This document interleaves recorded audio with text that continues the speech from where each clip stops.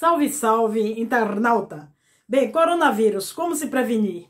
É verdade que é possível matar o vírus? Posso me contaminar ao apertar a mão de um infectado? Infectologistas respondem as principais dúvidas sobre coronavírus. O mundo está em alerta com o avanço do novo coronavírus que surgiu em dezembro de 2019 na cidade de Wuhan, na China. A epidemia atual foi batizada pela Organização Mundial da Saúde como Covid-19. Bem, vamos conferir as principais perguntas e respostas sobre sintomas, transmissão, cuidados e possível cura. O que é coronavírus? O que é o coronavírus? Como é a transmissão? Quais são os sintomas? Como se prevenir? É possível se contaminar por meio de aperto de mão? Como é feito o tratamento? Que produtos de limpeza matam o coronavírus? É possível ser infectado mais de uma vez? A vacina. Vitamina D protege contra o coronavírus? Qual a taxa de mortalidade do coronavírus?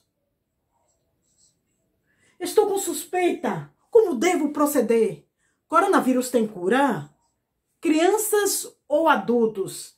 Quem corre mais risco ao ser infectado por coronavírus? Encomendas vindas da China podem chegar aqui contaminadas? Animais de estimação podem transmitir o um novo coronavírus? Porque brasileiro que vieram da China ficaram em quarentena, mas os que voltaram da Itália não ficaram? O clima no Brasil pode ajudar a combater o novo coronavírus? Qual é o, qual é o tempo de incubação do novo coronavírus? Quanto tempo o novo coronavírus vive na superfície ou no ar? Qual a origem do novo coronavírus? Qual é a orientação para quem tem viagens marcadas para a China ou outros países com registro de coronavírus? Grávidas correm mais risco? Gestantes podem transmitir coronavírus para o feto e durante o parto? Mulheres com suspeita de coronavírus podem amamentar? Bem, gente, pois é. Para começar, o que é o coronavírus. Coronavírus é o nome de uma família de vírus que tem formato de coroa. Pois é, por isso que é corona, formato de coroa. Tem formato de coroa.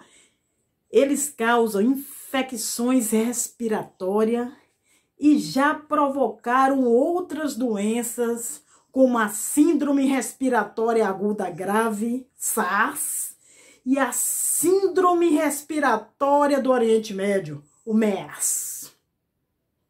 A doença causada pelo novo coronavírus recebeu o nome de Covid-19. Covid-19. Ele foi descoberto no final de dezembro de 2019 na China. A primeira morte foi registrada em 9 de janeiro. Segundo, como é a transmissão? Por meio de três formas se dá a transmissão: por vias respiratórias, como pelo ar, gotículas proveniente de assim, espirro e da fala de indivíduos infectados também por contato físico, como beijo, abraços, por meio de contato de superfície contaminada, como segurar em um corrimão, segurar em um corrimão. Pergunta número 3. Quais são os sintomas da doença causada por coronavírus? Bem, gente, tosse seca, febre e cansaço. São os principais sintomas, mas alguns pacientes também podem sentir dores no corpo, congestionamento nasal, inflamação na garganta ou diarreia. Nos casos mais graves, que geralmente ocorre em pessoas que já têm outras doenças associadas, há do verbo haver síndrome respiratória aguda e insuficiência renal. 4. Como se prevenir contra o coronavírus? Bem, higienizar as mãos. Procurei logo o álcool gel. E também superfícies como os móveis, corrimão, são as principais formas de se prevenir contra o novo coronavírus contra o novo coronavírus. É preciso, minha gente amigo, é preciso, minha galera, lavar as mãos com água e sabão ou álcool gel, mas nunca apenas com água, senão você só vai estar dando um banhozinho no corona. Se só lavar com água, você só vai estar dando um banho, ele vai sair muito mais cheirosinho. Então tem que ter água e sabão ou álcool gel ou álcool gel. Lavar as mãos pelo menos 20 segundos, nada de preguiça. Pronto, acabou não. Tem 1, 2, 3, 4, 5, 6, 7, 8, 9, 10, 1, 12, 13, 14, 15, 16, 17, 18, 19, 20. Lavar as mãos por pelo menos 20 segundos. Mesmo com as mãos limpas, Evite tocar mucosa no olho, nariz, na boca. Para quê? Evite, mesmo com as mãos limpinhas, por favor.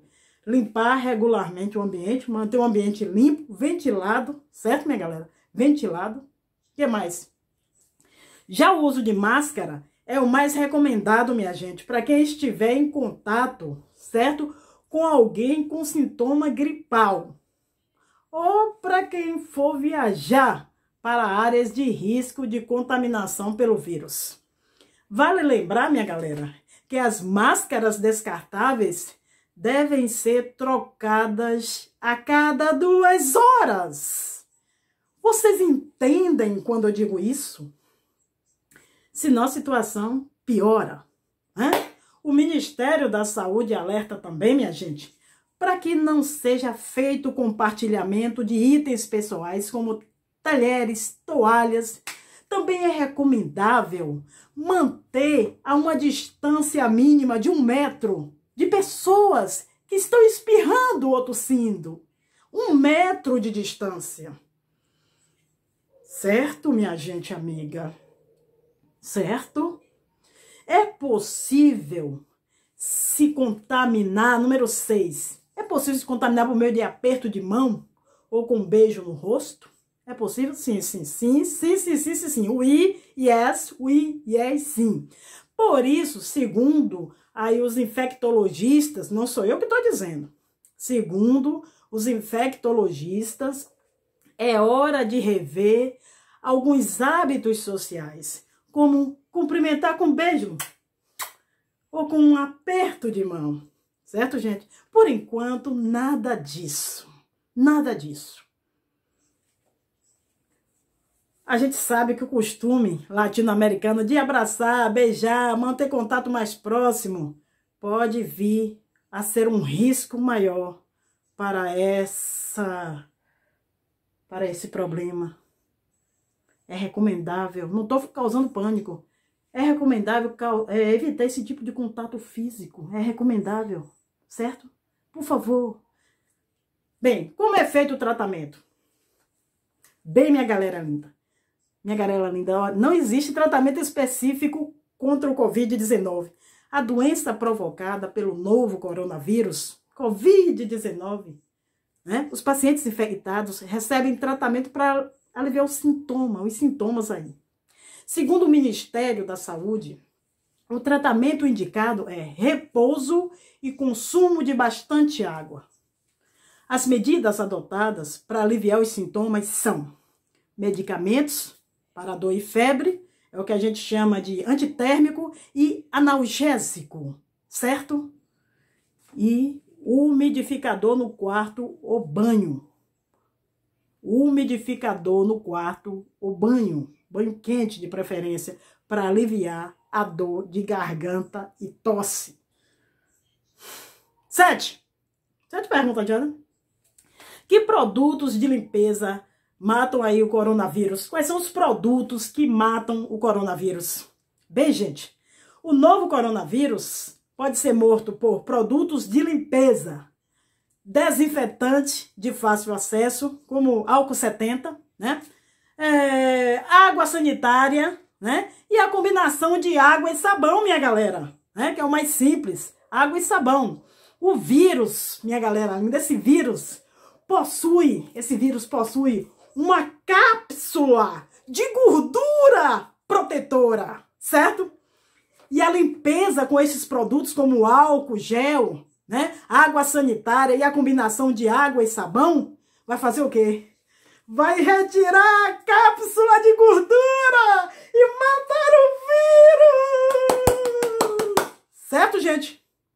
Certo? Água e sabão. Água e sabão, principalmente, e gel, álcool gel. A boa notícia é que o coronavírus não é um vírus muito complicado de matar, pois ele não é resistente ao ambiente, graças a Deus. Ele não é resistente ao ambiente, certo? Ah, outra pergunta. É possível ser infectado mais de uma vez por coronavírus? Hum, olha, os cientistas ainda não têm essa resposta. Agora, a do Verbo Haver notícias de reinfecção no Japão.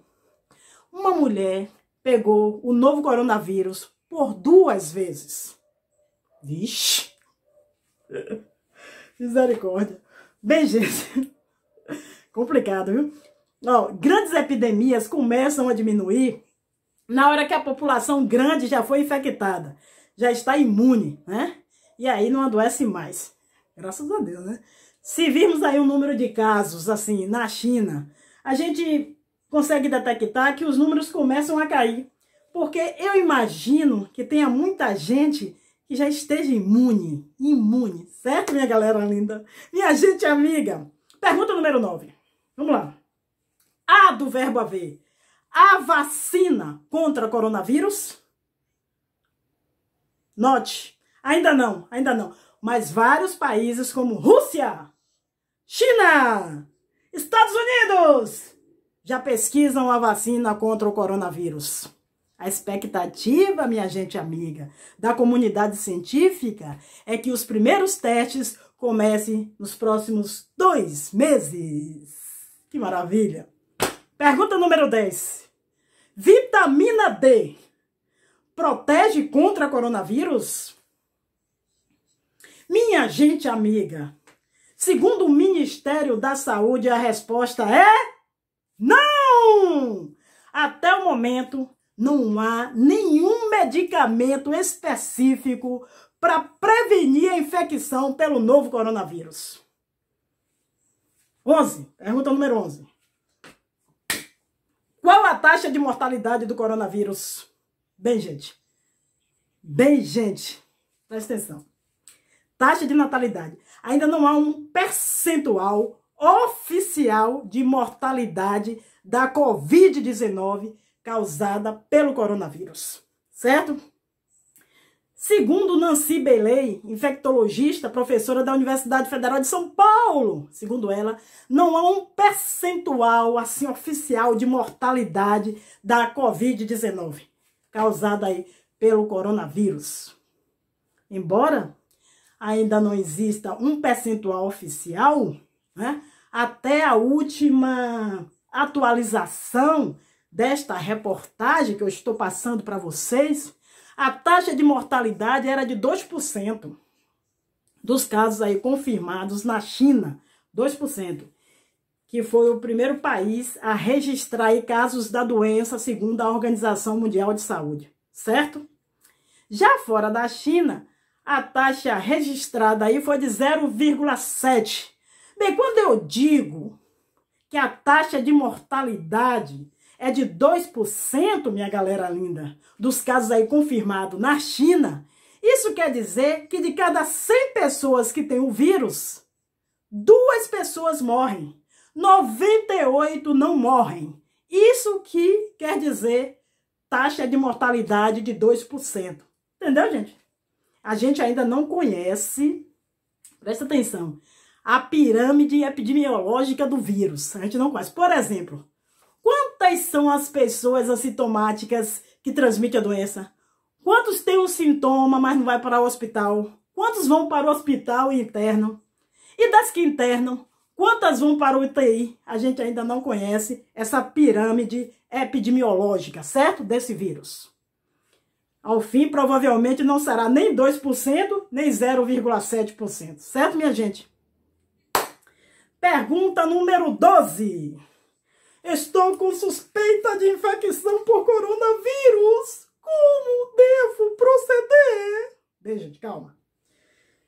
Em 80% dos casos, os sintomas de coronavírus são leves, parecidos com a gripezinha Nesse caso, o essencial, segundo a Organização Mundial da Saúde, é evitar sair de casa. Fique em casa, fique em casa, certo? O Ministério da Saúde recomenda ficar em repouso e tomar bastante água, o protóxido de hidrogênio. Se precisar sair de casa, se precisar sair, deve-se evitar circular em lugares fechados, com muitas pessoas e com pouca ventilação. Além disso, é preciso entender que ir ao trabalho ou à escola com sintomas de gripe implica expor potencialmente outras pessoas à doença. Então, se estiver gripado, não vá para a escola. Viu, professor? Viu, aluno? Além disso, ao espirrar, deve-se colocar o antebraço. Antebraço é essa parte aqui, é daqui até aqui, ó. Tá vendo? Deve-se colocar um antebraço assim, ó. ó. E não a mão. Pelo amor de Deus. Essa parte aqui, deve-se colocar assim, ó. Ou senão um lenço na frente do nariz, né? Um lenço na frente do nariz e da boca. Agora, assim, ó. Presta atenção, vou fazer aqui, ó. Achim! Tá vendo?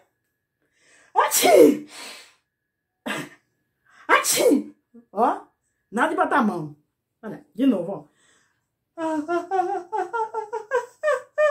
Atchim! Antebraço. Porque se você fizer aqui, aí a mão, você vem pegando a pessoa, como vai? Aí bota no olho, bota na boca. Parece meio óbvio, né? Parece meio óbvio. Então, ao espirrar, deve-se colocar um antebraço ou um lenço na frente do nariz e boca. Utilize lenço descartável para higiene pessoal, por favor. Nada de lenço de pano. Não compartilhe talheres, copos, toalhas e demais objetos pessoais. E mantenha uma distância mínima de um metro. De qualquer pessoa, um metro. É muito triste falar essas coisas, né? Mas as pessoas devem ficar distantes uma das outras. Pelo menos um metro. Nada de muita aproximação. Pelo menos nesse momento. Vamos cooperar para diminuir, né, minha galera? Para diminuir a quantidade de pessoas infectadas. Pelo amor de Jesus Cristo, não vai todo mundo morrer. Aí todo mundo morre. Pronto. Aí que não vai ficar nem um metro, não vai ver nem nada, ninguém mais, e acabou. 13. Coronavírus tem cura? Coronavírus tem cura, segundo a Organização Mundial de Saúde, não sou eu que estou dizendo. Ainda não há do verbo haver, ainda não há cura. E não há um tratamento medicamentoso definido. Se alguém falar, tá mentindo para você, viu? Presta atenção. Agora, segundo a infectologista, né? Queiroz, é homem, né? Queiroz, existe a chamada cura espontânea. O que é cura espontânea? É aquela que ocorre quando o corpo reage à infecção. O corpo vai reagir à infecção. Eu sou mais forte que você, vírus! E você vai ser eliminado! Agora você tem que estar com uma saúde legal, né? O sistema imunológico tá bom. 14. Crianças ou adulto quem corre mais risco ao ser infectado por coronavírus? Crianças ou adultos?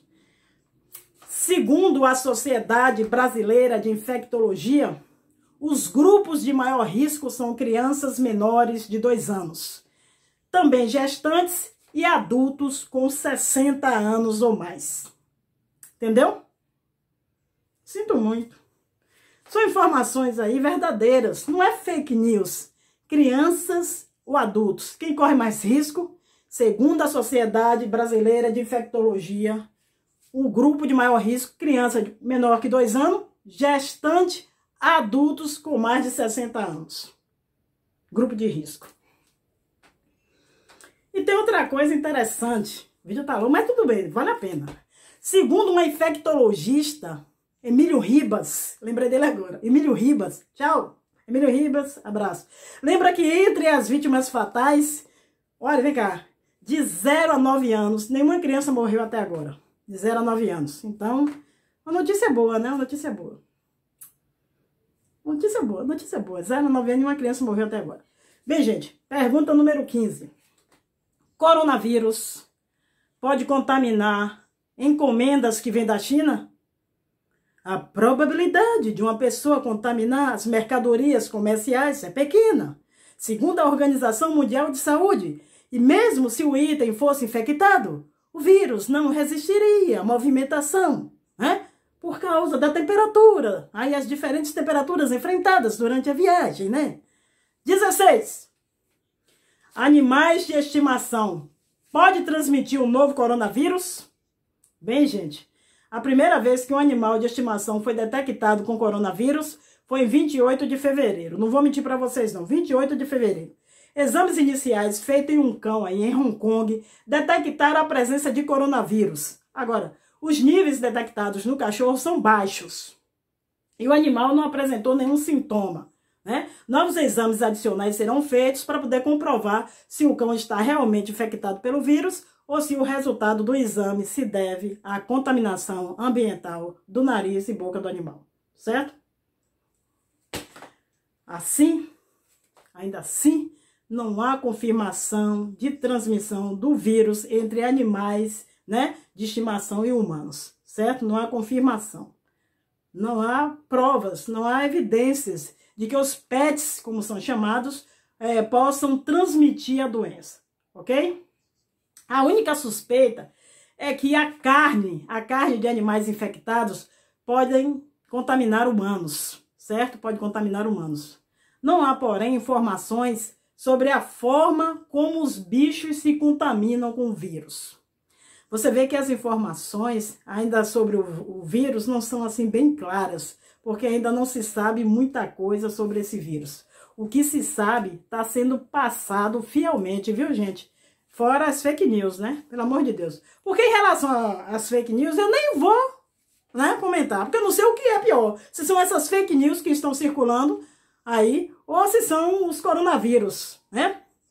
Porque, rapaz, recentemente eu vi um aí que disse que o álcool gel era ineficaz e que o vinagre que era, né, mais eficaz de um cidadão que se auto-intitulou aí autodidata em química.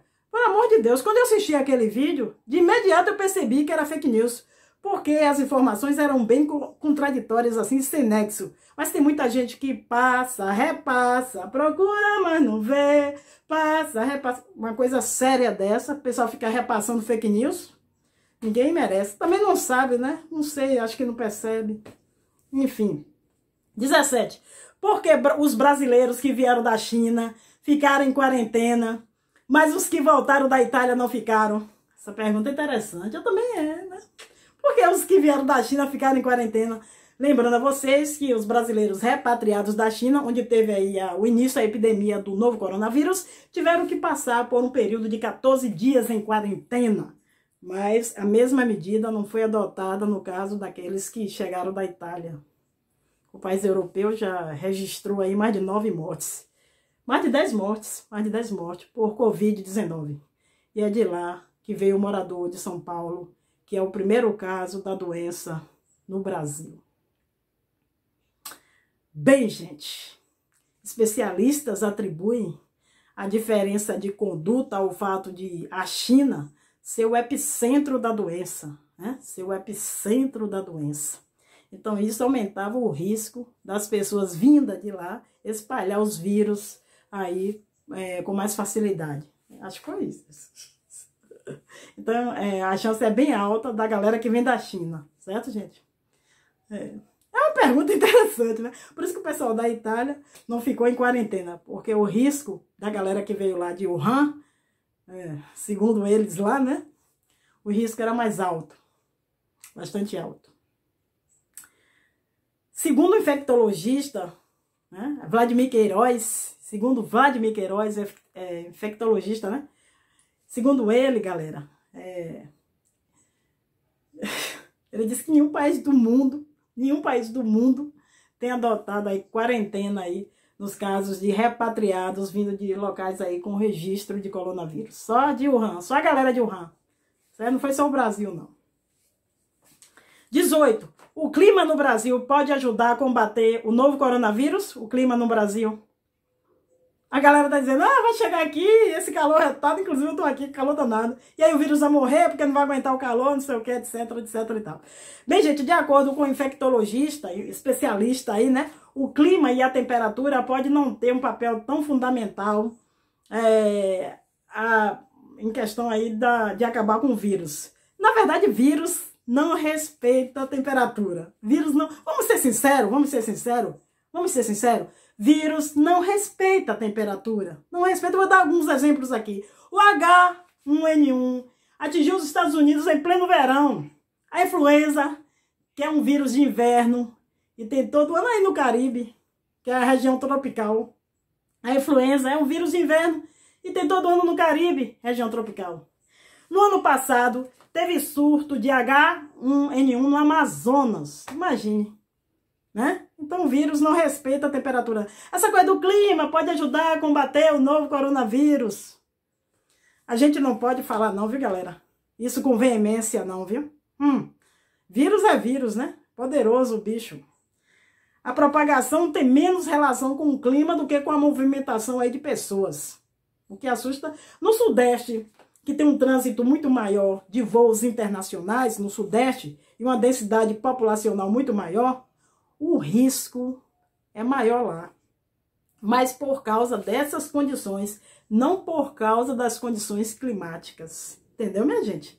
Então esse negócio de que o clima, tal, tal, quando o vírus chegar aqui vai ser detonado. Hum. 19. Qual é o tempo de incubação do novo coronavírus? Tempo de incubação. Qual é o tempo? Bem, gente, o tempo de incubação, incubação, cucu. O tempo, o período de incubação significa o tempo da captura do vírus pelo ser humano e o início dos sintomas da doença. De acordo com a Organização Mundial de Saúde, a maioria das estimativas do período de incubação do Covid-19 varia de 1 a 14 dias, geralmente em torno de 5 dias. Geralmente, 5 dias. 20? Já? Quanto tempo o novo coronavírus vive em uma superfície ou no ar? Uma boa pergunta essa. Né? Ainda não é possível afirmar quanto tempo o novo coronavírus sobrevive aí na superfície ou no ar, viu, minha galera? Segundo a Organização Mundial de Saúde, tá? Estudos avaliados apontam que o vírus pode persistir na superfície, né, por algumas horas ou até mesmo vários dias. Isto pode variar e depende das condições do local, do clima e da umidade do ambiente. 21. Qual é a origem do novo coronavírus? De onde esse miserável veio, pelo amor de Deus? Bem, os estudos ainda não determinaram a origem. Sabe-se que o vírus responsável pelo Covid-19 é uma variação da família coronavírus. Outras variações mais antigas de coronavírus, como o SARS-CoV e o MERS-CoV, já eram conhecidas. Já eram conhecidas, entendeu? É uma família, é uma família. O surto inicial da doença atingiu pessoas que tiveram alguma associação aí ao mercado de frutos do mar em Wuhan. Uma das hipóteses é que a origem tem a relação com o consumo de carne de pangolim, um mamífero em extinção, o pangolim, certo? Pergunta número 22. Qual é a orientação para quem tem viagens marcadas para a China ou outros países aí com registro de coronavírus? Não há restrição oficial para viagem, né? Não há restrição. Pode viajar, ninguém. Eu, é, pelo que eu saiba, não há restrição de acordo com o Ministério da Saúde e a Organização Mundial de Saúde. Não há restrição oficial para viagem.